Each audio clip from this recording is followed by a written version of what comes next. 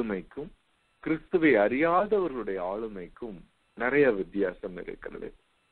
கிறிஸ்துவை அறிந்த ஆளுமை எப்படி இருக்கிறது என்றால் எல்லாருக்கும் நான் கடையனாய் இருக்கிறேன் அடியவனாய் இருக்கிறேன். இதுதான் கிறிஸ்துவின் சிந்தை. இந்த உலகத்தின் சிந்தை என்ன? எல்லாருக்கும் மேலாய் நான் இருக்கிறேன். ஆல்பர்ட் ஸ்வைச்சர் வந்து அவர் தன்னுடைய ஊழியத்தை அவர் செய்து கொடுக்கும்போது நிறைய பேரு அவரை மாதிரி அங்கங்க அங்கங்க இந்த ஆலயத்தின் கட்டுமானத்தில் ஈடுபட்டவர்கள் மாதிரி கொஞ்சம் கொஞ்சமாய் கொஞ்சம் கொஞ்சமாய் அவர்கள் தங்களுக்கான இயன்ற முறையிலே ஊழியங்கள் செய்வது பரவி இருந்ததினாலே நம்ம திடீர்னு கொஞ்ச நாளைக்கு அப்புறம் பார்த்தா அந்த இடமே மாறி இருக்கும் எல்லாம் மாறி இருக்கும் ஏனென்றால் குடும்பங்கள் தனித்தனியாய் கட்டுகிறது. தேவன் எல்லாவற்றையும் ஒன்றாய் இணைத்து தன்னுடைய நாமத்தை மைமைப்படுத்தி கொள்ளுகிறார். அதனாலதான் வந்து தனியா எதையும் செய்யணும் அப்படின்னு நம்ம நினைக்க கூடாது. எல்லோரோடும் சேர்ந்து செய்ய வேண்டும். எல்லாரும் பார்ட்டிசிபேட் பண்ற மாதிரி ப்ரோக்ராம் வைக்கணும். எல்லோரும் சேர்ந்து செய்யும்படியாய் பொருள் அப்போ கடவுளுடைய மனம் நம் மீது பிரியமாயிருக்கும் என்பதுல சந்தேகமே இல்லை. எங்களை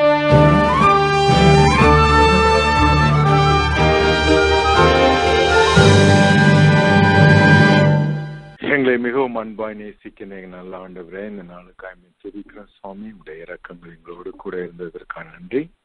அன்பு தகப்பனே எங்களோடு நீர் பேசும்.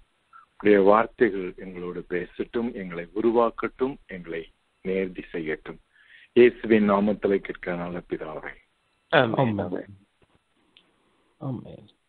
நாம் இன்றைக்கு வந்து திவ்ய காட்சியில நெகேமியாவின் புத்தகம் மூன்றாவது அதிகாரம் ஒன்றிலிருந்து இருபது வசனங்களை வாசிக்கலாம். நெகேமியாவின் புத்தகம் மூன்றாவது அதிகாரம் ஒன்றிலிருந்து இருபது வசனங்கள். அப்பொழுது பிரதான ஆசாரியனாகிய எலியாசிபும் அவன் சகோதரராகிய ஆசாரியர்களும் எழுந்து ஆட்டு வாசலை கட்டினார்கள்.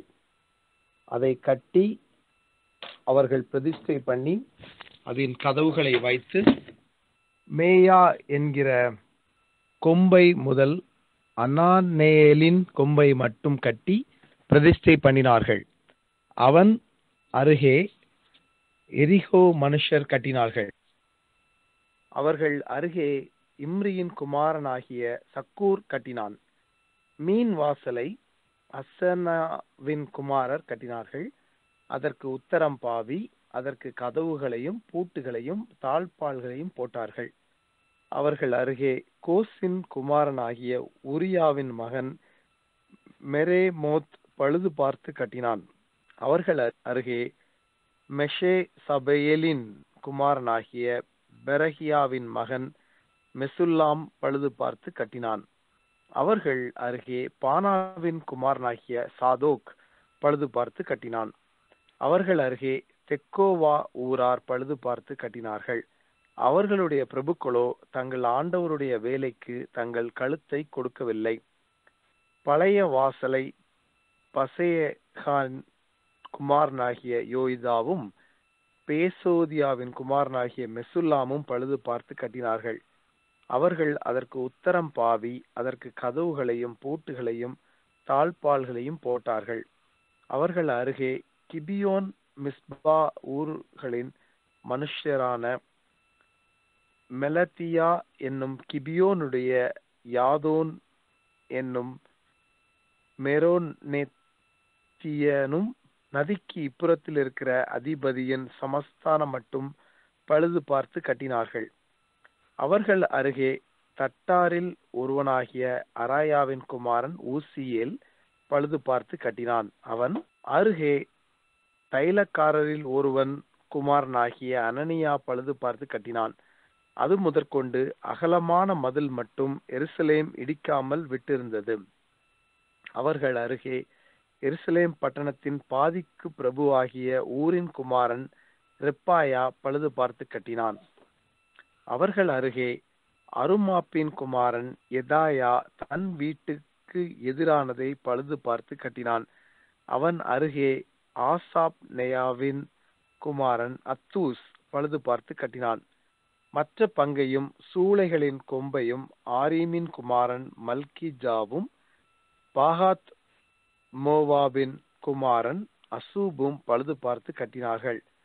அவன் அருகே எருசலேம் பட்டணத்தின் மறுபாதிக்கு பிரபுவாகிய அலோகேசின் குமாரன் சல்லூமும் அவன் குமாரத்திகளும் பழுது பார்த்து கட்டினார்கள். பள்ளத்தாக்கின் வாசலை ஆனூனும் சானோவாகின் குடிகளும் பழுது பார்த்து கட்டினார்கள். அவர்கள் அதை கட்டி அதற்கு கதவுகளையும் பூட்டுகளையும் தாழ்பால்களையும் போட்டு குப்பை மேட்டு வாசல் மட்டாக அலங்கத்தில் ஆயிரம் முழம் கட்டினார்கள். குப்பைமேட்டு வாசலை பெத்கேரேமின் மாகாணத்து பிரபுவாகிய ரெக்காவின் குமாரன் மல்கியா பழுது பார்த்து அதை கதை அதற்கு கதவுகளையும் பூட்டுகளையும் தாழ்பால்களையும் போட்டான். ஊருணி வாசலை மிஸ்பாவின் மாகாணத்து பிரபுவாகிய கொல்லேசேயின் குமாரன் சல்லும் பழுது பார்த்து அதை கட்டி மச்சு பாவி அதற்கு கதவுகளையும் பூட்டுகளையும் தாழ்பால்களையும் போட்டு ராஜாவின் சிங்கார தோட்ட தண்டையில் இருக்கிற சீலோவாவின் குளத்து மதிலையும் தாவீதி நகரத்திலிருந்து இறங்குகிற படிகள் மட்டாக இருக்கிறதையும் கட்டினான். அவனுக்கு பின்னாக பெத்சூர் மாகாணத்தின் பாதிக்கு பிரபுவாகிய அஸ்பூஹின் குமாரன் நெஹேமியா தாவீதின் கல்லறைகளுக்கு எதிரான இடமட்டாகவும் வெட்டப்பட்ட குளமட்டாகவும் பராக்கிரமசாலிகளின் வீடு மட்டாகவும் இருக்கிறதை பழுது பார்த்து கட்டினான். அவனுக்கு பின்னாக லேவியரில் பாணியின் குமாரன் ரேகுமும் அவன் அருகே கேகிலா மாகாணத்தில் தன்னுடைய பாதி பங்குக்கு பிரபுவாகிய அசபியாவும் பழுது பார்த்து கட்டினார்கள். அவனுக்கு பின்னாக அவனுடைய சகோதரரில் கேகிலா மாகாணத்து மறுபாதிக்கு பிரபுவாகிய இனாதாதின் குமாரன் பாபாயி பழுது பார்த்து கட்டினான். அவன் அருகே மிஸ்பாவின் பிரபுவாகிய எசுவாவின் குமாரன் ஏசர் என்பவன் மதிலின் கோடியிலே ஆயுத சாலையின் படிகளுக்கு எதிரே இருக்கிற வேறொரு பங்கை பழுது பார்த்து கட்டினான். அவனுக்கு பின்னாக சாபாயின் குமாரன் பாரூக் அந்த கோடி துவக்கி பிரதான ஆசாரியனாகிய இலியாசிபின் வாசற்படி மட்டும் இருக்கிற பின்னொரு பங்கை வெகு ஜாக்கிரதையோடே பழுது பார்த்து கட்டினான் என்பதே. திருமறையின் திவ்ய காட்சிகளிலே இன்றைக்கு எப்படி பல்வேறு குடும்பங்கள் தேவனுடைய ஆலயத்தை அதன் மதில்களை பழுது பார்த்து அவைகளை கட்டுவதிலே ஒருங்கிணைந்து ஈடுபடுகிறார்கள் என்று நம்ம பார்த்தோம் பார்த்து கொண்டிருக்கிறோம். இது ஒரு திவ்ய காட்சி. வெகு திரளான ஜனங்கள் தேவனிடத்துல வெகு திரளான ஜனங்கள் தேவனிடத்துல அன்பு வைத்து அவருடைய மகத்துவமான ராஜ்யத்தை தங்களால் இயன்ற அளவிற்கு உதவி செய்ய வேண்டும் என்று சொல்லி தங்கள் கரங்களினாலே தேவனுடைய ஆலய காரியங்களை பழுது பார்ப்பதற்காக வந்திருப்பது மிகப்பெரிய திவ்ய காட்சி. நான் அடிக்கடி சொல்லுவேன் அதாவது ஆதியாகம புத்தகத்தை நாம் வாசிக்கும் போது நமக்கு மிக தெளிவாய் நம்ம கண்களுக்கு முன்பாக வருகிறது என்னவென்றால் எல்லாவற்றையும் வார்த்தையினாலே படைத்த தேவன் மனுஷனை உருவாக்குவதற்கு மட்டும் அவர் தன் இறங்கி வந்து தன் கைகளினாலே மண்ணை தொட்டு அவர் மனிதனை உருவாக்குகிறார் என்று நம்ம பார்க்கிறோம். மனிதன் உருவாக்குறவன் அப்படின்னு சொல்லல. எல்லா மிருகங்களையும் அவர் வார்த்தையினால் படைத்தார். ஆனால் மனிதனை மாத்திரம் அவர் வந்து தன் கரங்களினாலே தொட்டு இல்லையா? அந்த மாதிரி நம்ம பார்க்கிறோம். என்னத்துக்கு காரணம் அதுக்கு? ஏன் வந்து தேவன் வந்து தன்னை தாழ்த்தினார்? சில சமயம் என்னுடைய நான் ஒரு வேலை செய்து கொண்டிருக்கும் ஒரு இடத்துல இருந்த இடத்துல ஒரு பெரிய ஆராய்ச்சியாளர் ஒருவர் இருந்தார். அவர் எப்பொழுதும் அவர் தன்னுடைய ஆராய்ச்சி வேலைகளை அதிகமாய் பார்க்காமல் எதையாவது பழுது பார்க்கும் வேலைகளை மட்டும் அவர் செய்து கொண்டிருப்பார். அப்போ வெளிநாட்டிலிருந்து எங்கள் ஆய்வகத்திற்கு ஒரு அறிவியல் அறிஞர் வந்திருந்தார். அவர் இவர் எப்ப பார்த்தாலும் பழுது பார்த்து கொண்டிருப்பதை பார்த்தவுடன் அவர் இவரை ஒரு டெக்னீஷியன் அதாவது பழுது பார்க்கிறதுக்காகவே நாங்கள் வந்து அவரை அமர்த்தி இருக்கிறோம் என்று நினைத்து தன்னுடைய வண்டியை அவர் வந்து ஓட்ட முடியுமா? டிரைவர் என்று நினைத்து கொண்டார் அவர். எ- ஒரு ஒருவர் வந்து இப்போ சில பேரை நம்ம பார்த்தீங்கன்னா நான் அஹ், இங்க கூட அமெரிக்க தேசத்துல கூட நம்ம சிறு வேலையை கொடுத்து நீங்க எனக்கு கொஞ்சம் உதவி செய்ய முடியுமா என்று சொன்னால் முடியாது என்று சொல்வார்கள். ஏன் முடியாது என்று சொல்வார்கள் என்றால் அவர்களை பொறுத்த வரைக்கும் வேலைகள் மனிதர்களை டிஃபைன் பண்ணுகிறது. நம்ம வந்து இந்தியாவில் அந்த ஜாதி முறை எப்படி வந்தது என்று பார்த்தா என்ன வேலையை அதிகமாய் செய்கிறார்களோ அந்த வேலையின் பேர் வந்து மனிதர்களுக்கு கூ- கூட்ட மக்களுக்கு கொடுக்கப்படுகிறது இல்லையா? அதே மாதிரிதான் வெளிநாடுகளிலும் கூட இ- ஐரோப்பிய கண்டங்களிலும் கூட ஸ்கின்னர் அப்படின்னு பேர் இருக்கும் லாஸ்ட் நேம். அந்த மாதிரி வித்தியாச வித்தியாசமாய் வேலையை பொறுத்து அவங்களுடைய கடைசி பெயர் வந்து மாறுகிறது. நிறைய நம்ம அந்த வார்த்தைகளை பார்த்த உடனே நம்ம சொல்லிடலாம். என்ன இவங்களுடைய முன்னோர்கள் என்ன தொழில் செய்திருக்கிறார்கள் என்று சொல்லி நமக்கு தெரிய வரும். அப்போ ஒரு மனிதன் தன்னுடைய வாழ்க்கையில என்ன வேலையை செய்கிறானோ அந்த வேலை அவனை டிஃபைன் பண்ணுகிறது. அவனை இந்த உலகத்திற்கு சொல்லி காட்டுகிறது. அப்போ தேவன் எந்த வேலை செய்கிறவராய் அவர் காணப்பட்டார்? முதலாவது காட்சி எந்த வேலை அவர் வந்து வணைகிறவராய் காணப்பட்டார்? அவர் வந்து உருவாக்குகிறவராய் காணப்பட்டார். அவர் வந்து உண்டாக கடவுது என்று வார்த்தையினாலே சொல்லி மனதிலாலே நினைத்தாலே ஆதாம் வந்து உருவாகி விடுவான் இல்லையா? அதுல வந்து ஒரு சந்தேகமும் கிடையாது. லாசுருவை கூட எழுந்து வா என்று சொல்லி இரண்டாவது முறை அவனுடைய அவனுடைய அவயங்களை ஒன்றுபடுத்தி காண்பிக்கும் போது அவர் தொடாமல் செய்கிறார் என்று பார்க்கிறோம். ஆனால் இங்கே மண்ணை தொட்டார் தேவன் முதலாவது ஆதாமை ஜீவாத்மாவாக்கினார் என்று நம்ம பார்க்கிறோம். தே- ஆதாம் வந்து ஜீவாத்மாவாய் காணப்படுகிறான். ஜீவாத்மாவாய் எப்படி காணப்படுகிறான்? தேவனுடைய கரங்கள் அவனை தொட்டது மட்டுமல்ல அவருடைய சுவாசம் அவனுக்குள் ஊதப்பட்டதினாலே அவனுடைய லங்ஸ் எல்லாம் வந்து தேவனுடைய ஜீவனினாலே நிறைந்திருக்கிறது என்று நம்ம பார்க்கிறோம். தேவ் இப்போ நம்ம வந்து சில சமயம் நினைக்கலாம். நம்ம வந்து வெளியில யாராவது கடவுளுடைய ஊழியத்தை செய்வார்கள். அவர்களுக்கு நம்ம வந்து பணம் கொடுத்து சப்போர்ட் பண்ணி விடலாம் என்று நம்ம நினைக்கலாம். ஆனா தேவன் நம்மளை பார்த்துன்னா அவரே வந்தார். அவரே வந்து எனக்கு வந்து ரொம்ப நாட்களுக்கு முன்பாக நான் வந்து ஸ்டான்ஃபர்ட்ல நான் ஜாயின் பண்ணும்போது ஒரு துறை துறை தலைவர். அவர் வந்து ஒரு நாள் நான் அவரை சந்திக்க வேண்டும் என்று பார்க்கும்போது வழியில் நான் போனேன். அவர் எங்கேயோ ஓடிக்கொண்டிருந்தார். பெரிய துறை தலைவர் அதிகமாய் சம்பளம் வாங்குபவர். இப்போ நான் அவர் இடத்துல கேட்டு நான் உங்களிடத்துல பேச வேண்டும் என்று வந்து கொண்டு இருக்கிறேன் என்று சொல்லி. அப்பொழுது என்னை பார்த்தவர் சொன்னா ஆ இல்லை நான் மிக முக்கியமான வேலைக்கு போய் கொண்டிருக்கிறேன். என்ன ரெண்டு பிள்ளைகளையும் வந்து நான் வீட்டுக்கு கொண்டு போய் விட வேண்டும் அப்படின்னு சொன்னார். அவ்வளவு பெரிய பணம் படைத்தவர்.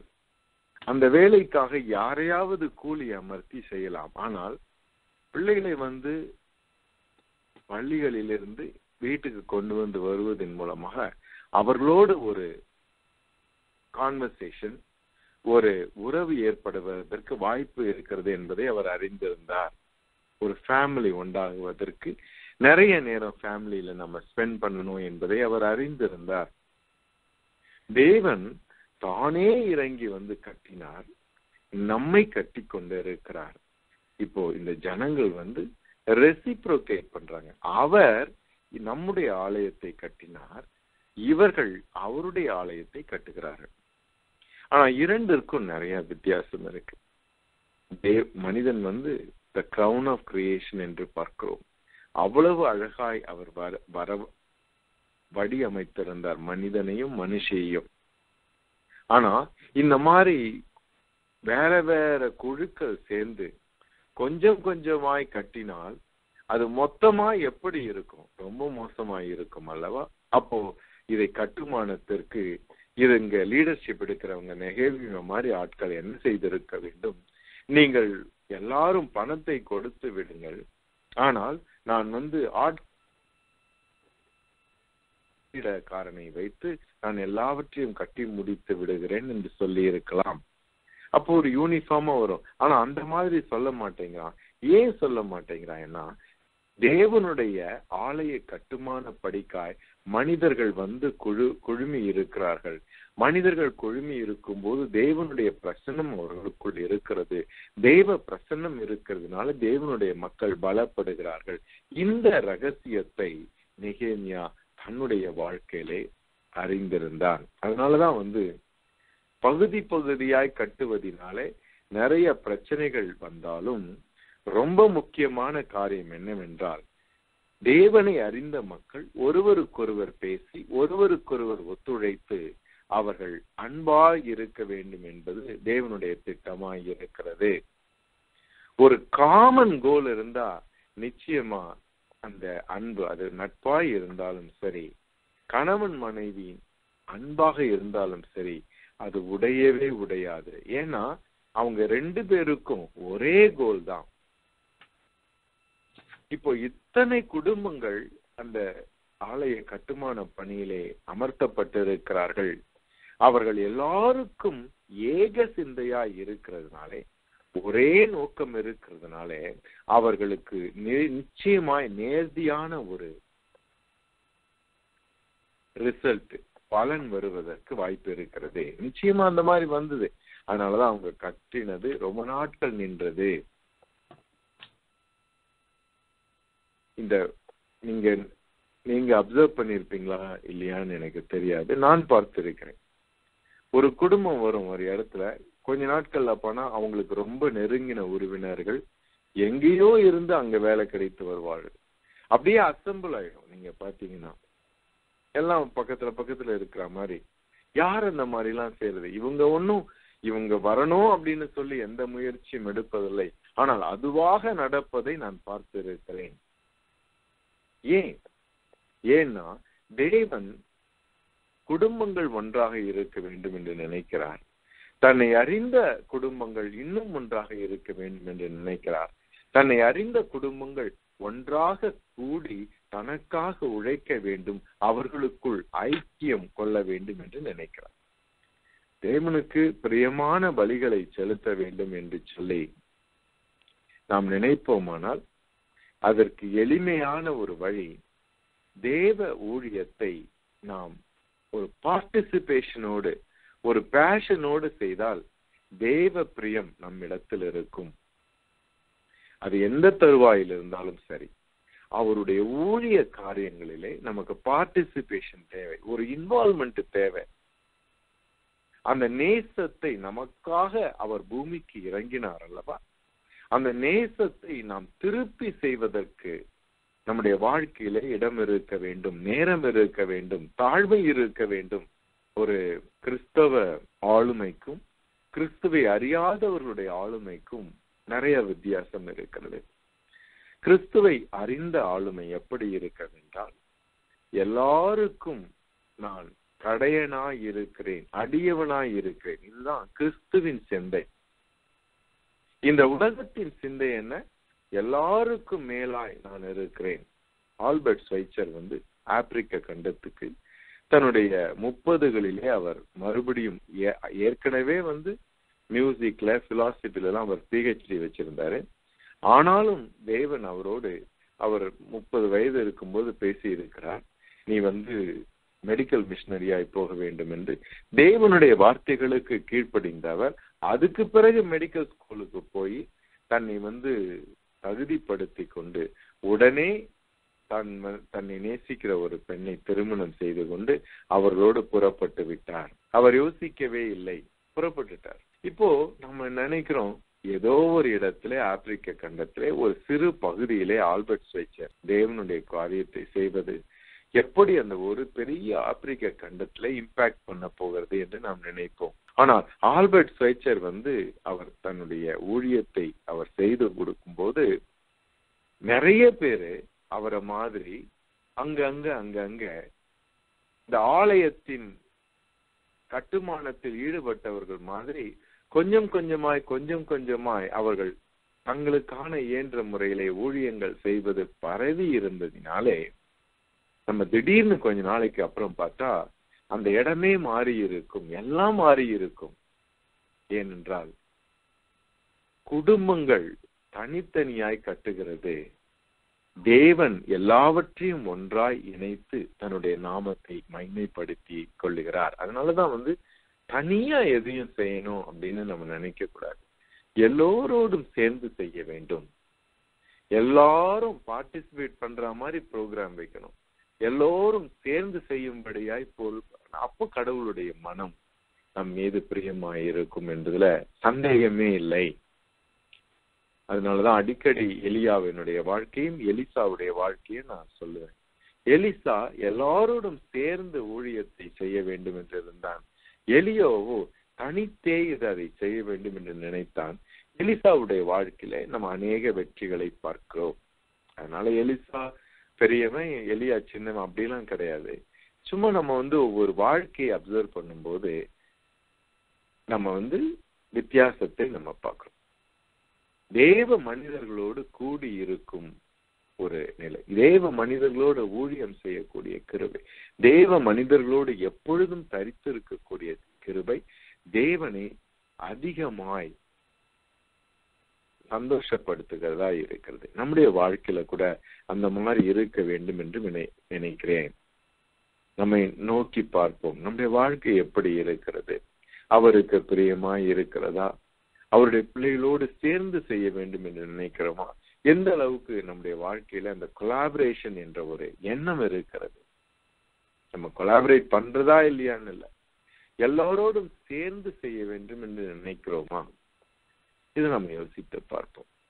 இது நமக்கு சிந்தைக்குள்ளாக வரட்டும். நல்ல ஆண்டு வரை இந்த நாளுக்கு நமக்கு நன்றி செலுத்துகிறோம். உடைய வசனங்களுக்காக நன்றி. பூமியில எல்லா காரியத்திலும் உங்களுடைய வசனங்களை நீங்கள் நிலைநிறுத்தி இருக்கிறீங்கப்பா. எங்களுடைய வாழ்க்கையிலே உடைய வசனங்கள் நிலைநிறுத்தப்படட்டும். ஆண்டவரே நெகேமியாவுடைய வாழ்க்கையிலே கண்டது மாதிரி ஆண்டவரே பகுதி பகுதியாய் குடும்பங்கள் கட்டுகிறார்கள். எங்களுடைய வாழ்க்கையில எங்களால இயன்ற காரியத்தை ஆண்டவரே எங்களுடைய குடும்பத்தின் மூலமா எங்களை அச்சீவ் பண்ண எங்களுக்கு உதவி செய்தலும். இயேசுவின் நாமத்திலே கேட்கிற நல்ல பிதாவே. ஆமேன் Amen. Amen. Amen.